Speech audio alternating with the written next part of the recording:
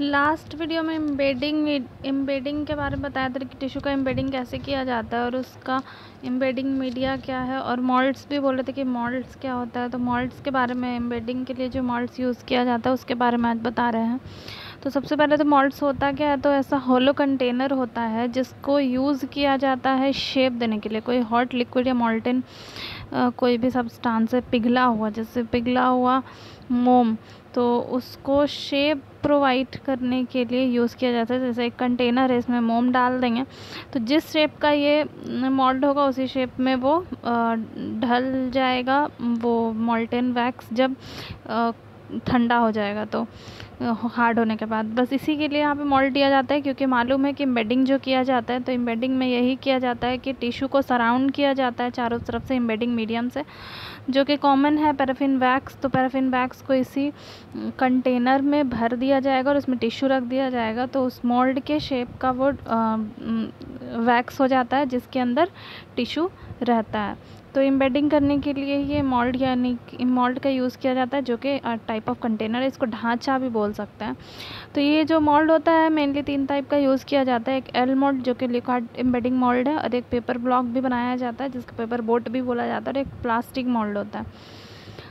तो liquid embedding mould जो है, या एल मोल्ड जिसको बोलते हैं, वो ऐसा रहता है।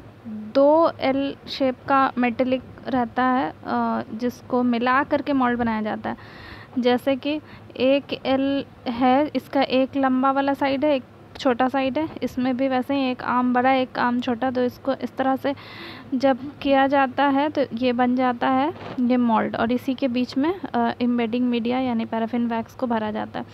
और इससे क्या किया जाता है कि इसको अरेंज कर सकते हैं साइज़ छोटा बड़ा इसका कर सकते हैं, जैसे यहाँ से यहाँ तक किया तो देखिए छोटा हो गया, इसको अगर ऐसे कर देते हैं तो बड़ा हो जाएगा, इस तरह से इसको अरेंज कर देंगे तो छोटा हो जाएगा तो साइज़ इसका बड़ा छोटा कर सकते हैं।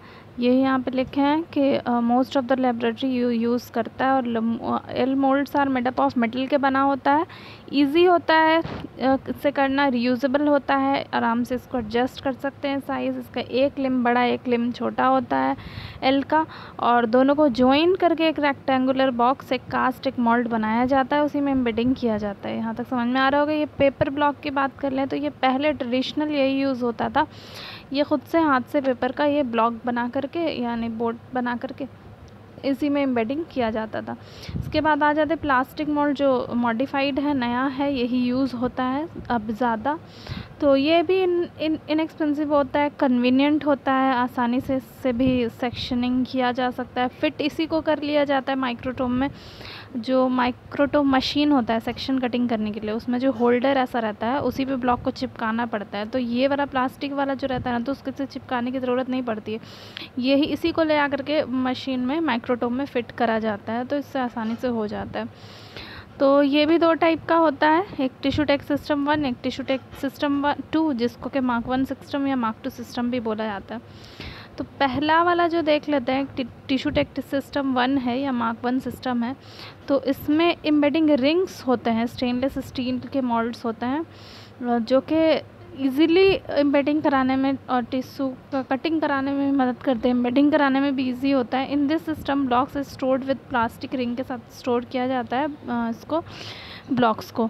जैसा कि इसमें लिखा हुआ दिख रहा है, इसमें रहता है एक प्लास्टिक एम्बेडिंग रिंग्स रहता है और यहाँ पे देख रहे हैं स्टेनलेस स्टील का मॉड रहता है, ये वाला। तो इसमें ये आ जाता है इसमें आसानी से कर सकते हैं। इसमें जब किया जाता है तो इसी को डायरेक्ट जो है माइक्रोटोम में यूज़ करा जाता है। ये हो गया। इसके बाद टिश्यू टेक सिस्टम टू में ऐसा कैसेट्स आता है आ, प्लास्टिक का। इसका जो ढक्कन होता है लेड होता है वो मेटलिक होता है या फिर प्लास्टिक ही का होता है। ये भी बहुत इजी होता है इसमें भी करना क्योंकि इसमें बस ऐसा कंटेनर है इसमें बेडिंग मीडियम भरा जाता है टिश्यू रखा जाता है। तो ये जो है rough surface on one side of the slope यहाँ पे जो है एक सरफेस दिया रहता है जहाँ पे नंबर है, ये लिखा जा सकता है परमानेंट मार्कर की मदद से। तो ऐसा कैसेट भी यूज़ किया जाता है, ये भी एज अ मॉल्ड यूज़ किया जाता है। तो मॉल्ड्स यही इतने टाइप का है जिसमें इनबेडिंग किया जाता है टिश्यू का। अगर कुछ प्रॉब्लम हो तो कमेंट करके पूछ सकते हैं। वीडियो अच्छा लगा हो तो एक लाइक एक कमेंट कर दीजिएगा। और अगर अभी तक चैनल को सब्सक्राइब नहीं किए हैं तो प्लीज़ चैनल को सब्सक्राइब कर दीजिएगा।